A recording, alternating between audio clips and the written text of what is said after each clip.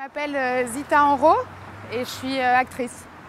Est-ce que tu vis dans un film en fait? Non, trop pas. Ah non, hein? Non, non, je vis pas dans un film. Non, non, je vis bien dans la réalité, quoi. Ah ouais. Avant, quand j'étais ado- adolescente, je vivais dans un film. Tu sais, t'es un peu romantique, tu, tu fais un peu genre, ah mon dieu, c'est comme dans un film, tu pleures comme dans un film, etc.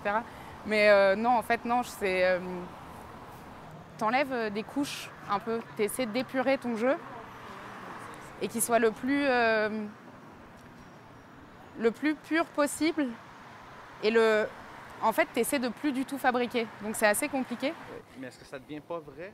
Mais si, en fait, ça devient vrai, mais Parce dans que le tu jeu. vis, ultimement. Bah oui, mais ça devient vrai dans le jeu, quoi. Ouais, tu ouais, vois, ouais. tu te. De toute façon, je pense que pour être euh, intéressant, il faut. euh, En fait, à un moment, il faut être. euh, Je sais pas.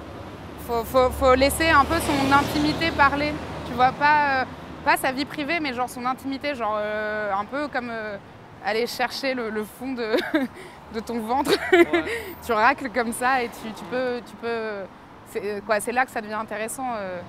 Au moment où tu commences à lire le scénario, ou que tu es engagé dans le projet, on te dit ok, c'est toi, machin, tu, tu te conditionnes déjà à, à jouer. à- Quoi, en fait, tu deviens en fait ce personnage, mais sans le savoir, c'est un peu inconscient. Il suffit que tu t'arrives sur le plateau, que tu sois dans ton costume, dans l'ambiance et tout, dans le décor, et en fait, tu es déjà le personnage. Mais c'est vraiment un, travail inconscient. C'est assez inconscient. Mais c'est un peu un truc de flemmard aussi. tu, dis, tu te dis, ouais, c'est bon, pas besoin de travailler, ça vient.